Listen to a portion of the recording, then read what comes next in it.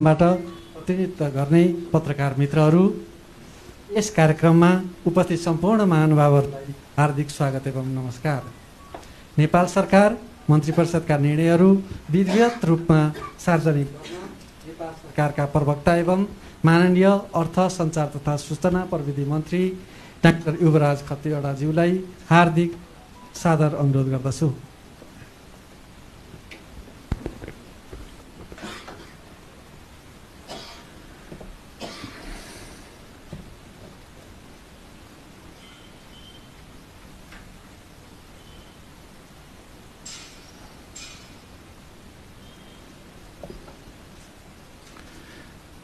सचिवज्यू सहसचिवहरू प्रेसका सम्पूर्ण मित्रहरू हाम्रो मन्त्रालयको साथीहरू म दुई हजार सतहत्तर साल भदौ एक गते सोमबार बसेको मन्त्री परिषदका बैठकका निर्णयहरू सार्वजनिक गर्न गइरहेको छु कोभिड सम्बन्धी केही थप निर्णयहरू नेपाल सरकारले गरेको छ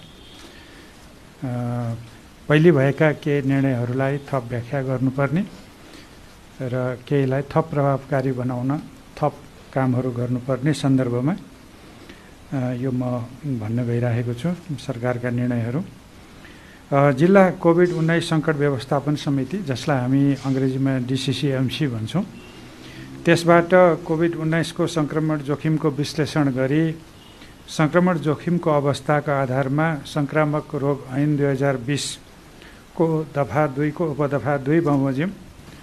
कोभिड उन्नाइसको सङ्क्रमण रोकथाम नियन्त्रण तथा उपचारको लागि सम्बन्धित जिल्लाभरि वा जिल्लाको कुनै भागमा मात्र लागू हुने गरी आवश्यक व्यवस्था मिलाउन र सोको निमित्त आवश्यकता अनुसार स्थानीय प्रशासन ऐन दुई हजार अठाइस बमोजिमको अधिकार समेत प्रयोग गर्न सबै प्रमुख जिल्ला अधिकारीलाई मुकरर गरी अधिकार सुम्पने।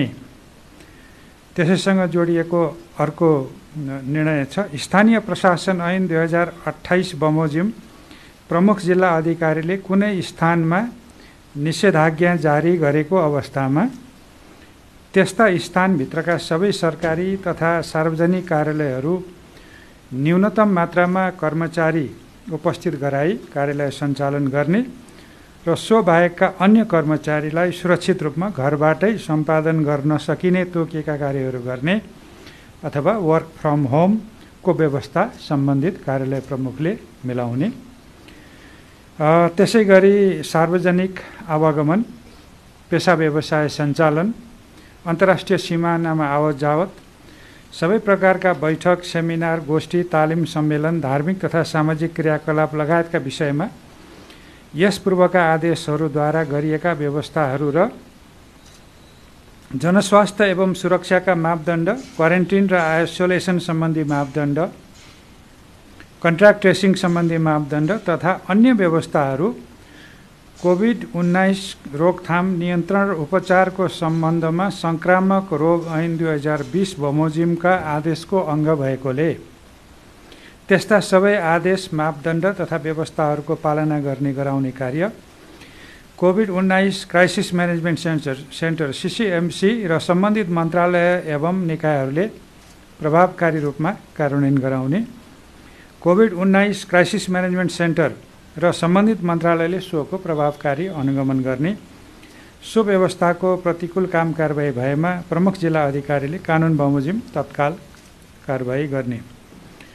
यो विषयमा अलिकति व्याख्या गरौँ। सरकारले जारी गरेका कुनै पनि निर्देशनहरू स्वास्थ्य मन्त्रालयले त्यो अर्थमा जारी गरेका स्वास्थ्य सुरक्षा सम्बन्धी मापदण्डहरू अथवा कोभिडसँग सम्बन्धित सबै निर्देशनहरू र निर्णयहरू सङ्क्रामक रोग ऐन दुई हजार बिसको कुनै न कुनै दफा आकर्षित हुने गरी त्यसलाई टेकेर गरिएका निर्णयहरू हुन्। त्यो आदेश हो त्यसको पालना गर्नु सबै नागरिकको कर्तव्य हुन्छ। र त्यो आदेश पालना गराउनको लागि गृह प्रशासन र स्थानीय प्रशासनले काम गर्न सक्छ।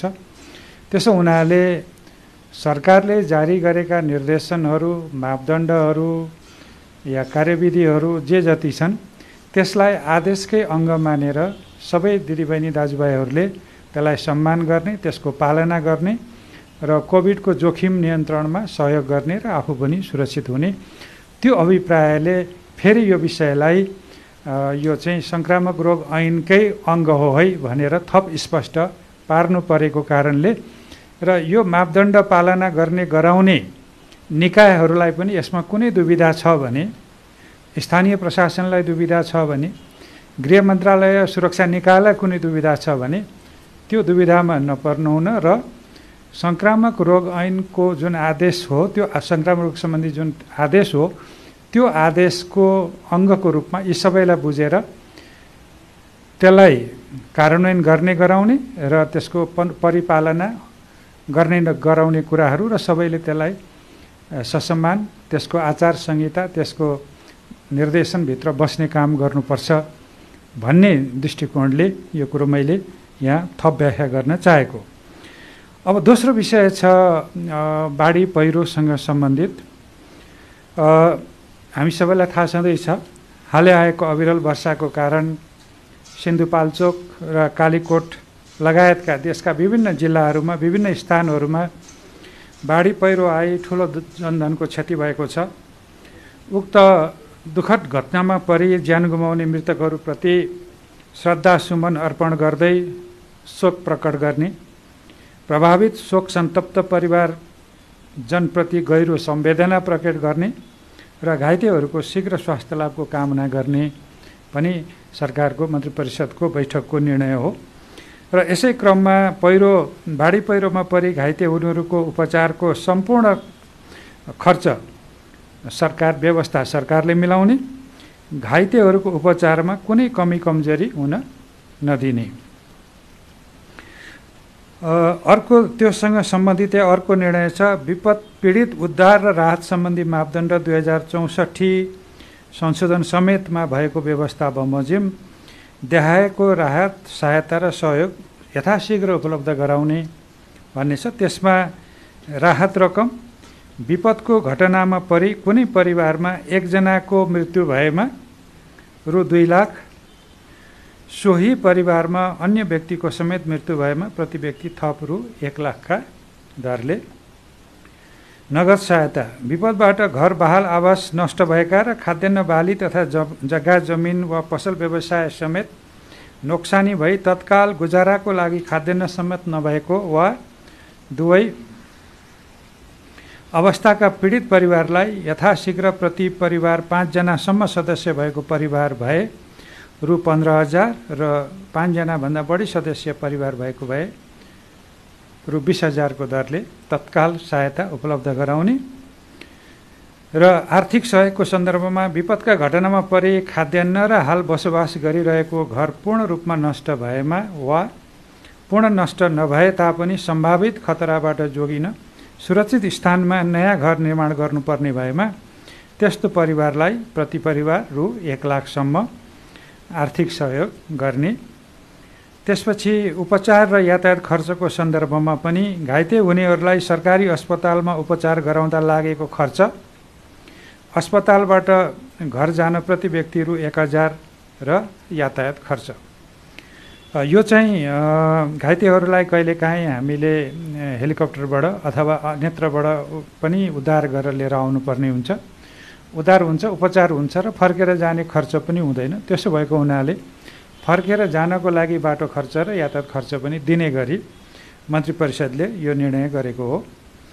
त्यसपछि सहुलियत दरमा निर्माण सामग्रीको विषयमा पनि निर्णय भएको छ। त्यो चाहिँ क्षति भएको घर पुनर्निर्माणको लागि प्रचलित कानुन बमोजिम जिल्लास्थित वन कार्यालय मार्फत सहुलियत दरमा काठ उपलब्ध गराउने भन्ने व्यवस्था छ। यो व्यवस्था हामीले सुरक्षित आवास कार्यक्रममा पनि पहिलेदेखि नै गरिबीको रेखामुनिको परिवारहरूको लागि पहिलेदेखि नै कार्यान्वयन ल्याएको छु र यो विपदबाट विस्थापित भएका परिवारहरूलाई पनि निर्माणको लागि यो सुविधा दिने भन्ने निर्णय भएको हो।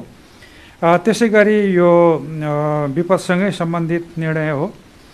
असुरक्षित विकट विकासका पूर्वाधार पुर्याउन कठिन अति दुर्गम स्थानमा रहेका वस्तुहरू बस्तीहरू समेतलाई योजनाबद्ध रूपले सुरक्षित स्थानमा विकासका पूर्वाधार एवं उपयुक्त सेवा सुविधा सहितका व्यवस्थित र सुरक्षित बस्ती विकास गर्ने सरकारको नीति प्राथमिकताका साथ कार्यान्वयन गर्ने।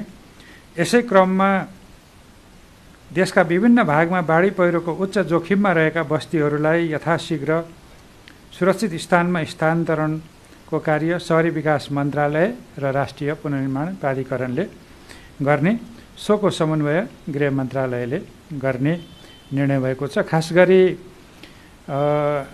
सुरक्षित आवास र चाहिँ यो एकीकृत बस्ती विकासका कुराहरू र व्यवस्थित बस्ती विकासका कुराहरू भूकम्पपछि अलि हामीले जोड बलकै साथ अघि बढाएका छौँ।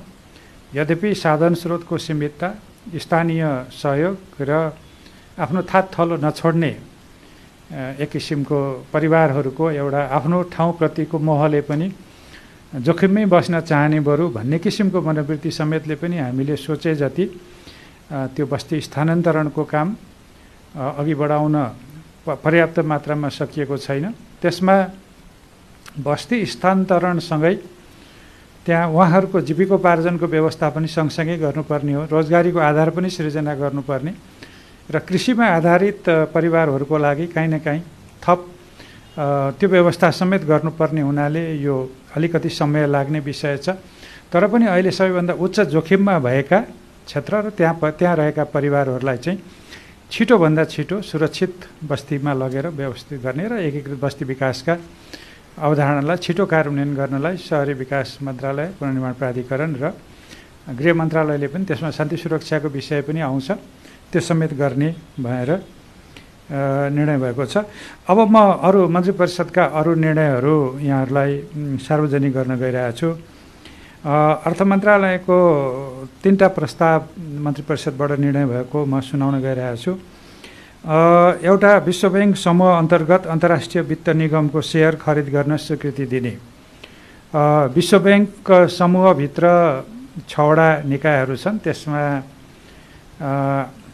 एउटा विश्व ब्याङ्क आफै भयो। अर्को चाहिँ आइएफसी जसलाई हामी चाहिँ इन्टरनेसनल फाइनेन्स कर्पोरेसन भन्छौँ र त्यसलाई नेपालीमा अन्तर्राष्ट्रिय वित्त निगम भन्छौँ। त्यसको पनि सदस्य हामी छौँ। त्यसले आफ्नो पुँजी बढाउने र कारोबारको आकार बढाउने हुनाले उसले थप पुँजी माग गरेको र त्यो थप पुँजी दिनलाई सरकारले आफ्नो सेयर त्यो संस्थामा आफ्नो सेयर नघट्ने गरी थप सेयर लगानी गर्ने भन्ने निर्णय गरिएको हो। अर्थ मन्त्रालयकै अर्को प्रस्तावमा यो शासक विद्युत प्रसारण र वितरण प्रणाली खास गरी यो एसिया दक्षिण पूर्वी एसियाली हामी चाहिँ दक्षिण एसियालीको पनि केही छिमेकी मुलुकहरूको बिचमा विद्युत व्यापार गर्नको लागि विद्युतीय प्रणाली सुदृढीकरण गर्नको लागि एसियाली विकास ब्याङ्कबाट अमेरिकी डलर दुई सय मिलियन करिब करिब चौबिस अर्ब रुपियाँ र त्यो चाहिँ सहुलियतपूर्ण ऋण र नर्वे सरकारको तर्फबाट अमेरिकी डलर पैँतिस मिलियन जुन चाहिँ चार अर्बभन्दा बढीको रकम हुन्छ त्यो अनुदान चाहिँ स्वीकार गर्ने भनिएको छ। त्यो निर्णय भएको छ। अर्थ मन्त्रालयको अर्को एउटा प्रस्तावमा भएको निर्णय चाहिँ राजस्व बोर्डको अध्यक्षमा पूर्व सचिव महेश दाहाल र सदस्यमा पूर्व सहसचिव निर्मल हरि अधिकारीलाई नियुक्ति गर्ने मन्त्री परिषदले निर्णय गरेको छ। त्यसपछि कृषि तथा पशुपक्षी विकास मन्त्रालयको अनुदानको मल वितरण व्यवस्थापन निर्देशिका स्वीकृत गरिएको छ। रासायनिक मलको एकातिर माग जति आपूर्ति गर्नलाई स्रोतका सीमा र अरू कतिपय अहिले कोभिडको कारणले पनि त्यो सम्भव भइराखेको छैन। तर भएको मललाई पनि हामीले व्यवस्थित ढङ्गले वितरण गर्न नसक्दाखेरि कारोबार मूल्य लागत मूल्य अथवा समयमा मल भएको मल पनि वितरण उपयुक्त ढङ्गले नहुने। यो सबै समस्या हल गर्नलाई यो निर्देशिका नभएको हुनाले एउटा निर्देशिका तयार गरिएको छ जसमा सरकारले अनुदानमा दिएको मलको कति मूल्यमा व्यवसायीहरूले बेच्न सक्ने कृषि सामग्री कम्पनीले कति थपेर मूल्य चार्ज गर्न सक्ने र खुद्रा व्यापारीहरूले त्यसमा कति मूल्य थपेर मात्रै त्योभन्दा बढी लिन नपाउने गरी व्यवस्था गर्ने एउटा कुरो हो। दोस्रो कुरा त्यो मल कसले पाउँछ भन्ने विषयमा चाहिँ अब स्थानीय तहलाई र प्रदेशलाई पनि जिम्मेवार बनाऊ। हिजो केन्द्रीकृत शासन प्रणालीमा हामी स्थानीय विकास अधिकारी भन्थ्यौँ होला जिल्ला समिति भन्थ्यौँ होला विकास समिति भन्थ्यौँ होला। अहिलेको सन्दर्भमा हामीले प्रदेश र स्थानीय तहलाई पनि यसमा समावेश गरेपछि लक्षित समूह जसलाई रासायनिक मल दिनुपर्ने हो उसले पाउने व्यवस्था गर्ने र त्यसको अनुगमन स्थानीय तहबाट हुने व्यवस्था गर्ने र त्यसको लागि प्रदेश र स्थानीय तहमा पनि कमिटीहरू बन्ने र सम्भव भएसम्म कृषि सहकारीको माध्यमबाट त्यो नहुँदाखेरि पनि निर्धारित कम्पनीहरूको माध्यमबाट निश्चित अनुगमन गरेर स्थानीय तह समेतको अनुगमनमा मल वितरणको प्रणाली अघि बढाउने भन्ने सन्दर्भमा यो निर्देशिका जारी भएको हो। परराष्ट्र मन्त्रालयको एउटा प्रस्ताव छ जसमा राजदूतहरूको नियुक्ति छ। त्यसमा बेल्जियम र युरोपियन युनियनका लागि गेहेन्द्र राज भण्डारी पाकिस्तानका लागि तापस अधिकारी र जर्मनीका लागि रामकाजी खड्का हुनुहुन्छ। उहाँहरू तिनैजना परराष्ट्र मन्त्रालयको प्रोफेसनल कर्मचारी पदाधिकारीहरू हुनुहुन्छ। यो चाहिँ परराष्ट्र मन्त्रालयको राजदूत नियुक्ति सम्बन्धी प्रस्तावमा भएको निर्णय हो। भौतिक पूर्वाधार तथा यातायात मन्त्रालयको प्रस्तावमा पूर्वाञ्चल विश्वविद्यालय अन्तर्गत स्कुल अफ इन्जिनियरिङ र टेक्नोलोजीमा त्यो विराटनगर हो। त्यसलाई बी इलेक्ट्रिकलमा विद्यार्थी सङ्ख्या अडचालिसजना सहितको नयाँ थप कार्यक्रम सञ्चालन गर्न र मदन भण्डारी स्मृति प्रतिष्ठान नेपाल उर्लाबारी मोरङलाई ब्याचलर अफ आर्किटेक्चरमा अडचालिसैजना विद्यार्थी सङ्ख्या सहितको नयाँ थप कार्यक्रम अध्ययन अध्यापन गराउन अस्थायी स्वीकृति दिने निर्णय भएको छ। महिला बालबालिका तथा ज्येष्ठ नागरिक मन्त्रालयको प्रस्तावमा समाज कल्याण परिषदमा रिक्त कोषाध्यक्ष पदमा फाकफोक सात इलाम निवासी श्री लोकनाथ सुवेदीलाई मनोनयन गर्ने निर्णय भएको छ। युवा तथा खेलकुद मन्त्रालयको प्रस्तावमा युवा तथा खेलकुद मन्त्रालय अन्तर्गत राष्ट्रिय युवा परिषदमा आर्थिक वर्ष दुई हजार सतहत्तर अठहत्तरका लागि पन्ध्रवटा स्थायी अस्थायी दरबन्दी स्वीकृत गर्ने निर्णय भएको छ र त्यसै मन्त्रालयको अर्को प्रस्तावमा युवा तथा साना व्यवसायी स्वरोजगार कोषको उपाध्यक्षमा डाक्टर देवराज रोक्का खोटाङलाई नियुक्ति गर्ने निर्णय भएको छ। वन मन्त्रालयको प्रस्तावमा नेपालले ग्लोबल ग्रिन ग्रोथ इन्स्टिच्युटको सदस्यता प्राप्त गर्न नेपाल सन्धि ऐन दुई हजार सडचालिस बमोजिम सङ्घीय संसदमा पेस गर्न स्वीकृति दिने भन्ने छ।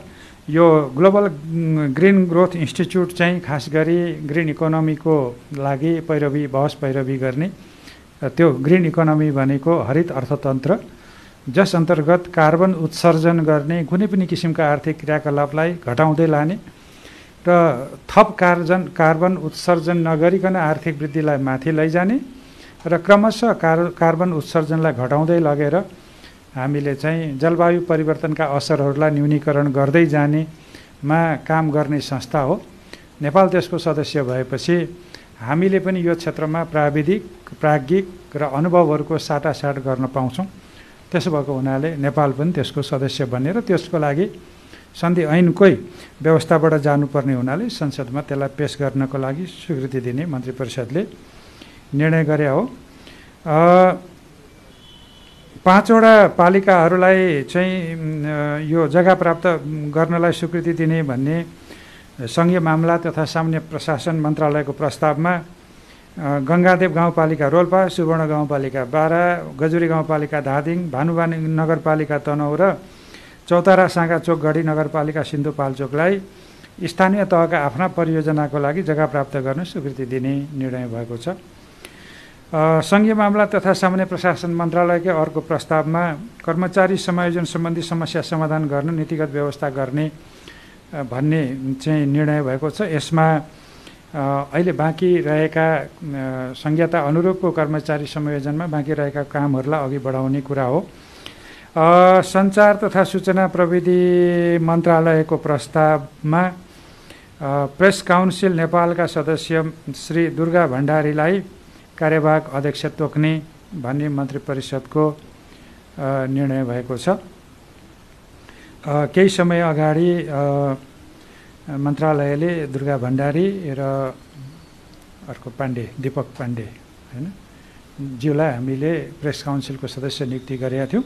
त्यसमध्येबाट श्री दुर्गा भण्डारी पौडेल महिला हुनुहुन्छ उहाँलाई कार्यवाहक अध्यक्ष तोक्ने निर्णय गरेको छ। त्यसपछि स्वास्थ्य तथा जनसङ्ख्या मन्त्रालयको प्रस्तावमा लोकसेवा आयोगबाट सिफारिस भएका पाँचजना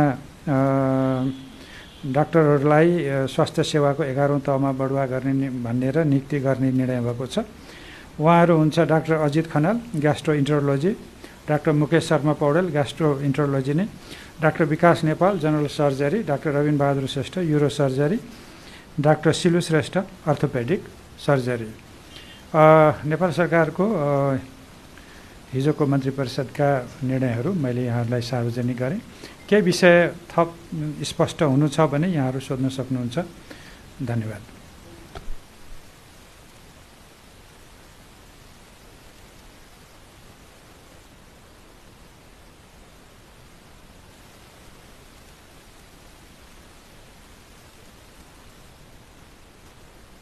नेपाल सरकार मन्त्री परिषदका निर्णयहरू सार्वजनिक गर्ने यस कार्यक्रममा उपस्थित माननीय मन्त्रीज्यू लगायत सम्पूर्ण महानुभावहरूमा हार्दिक धन्यवाद र कृतज्ञता व्यक्त गर्दै कार्यक्रम समापन भएको जानकारी गराउँदछु। धन्यवाद।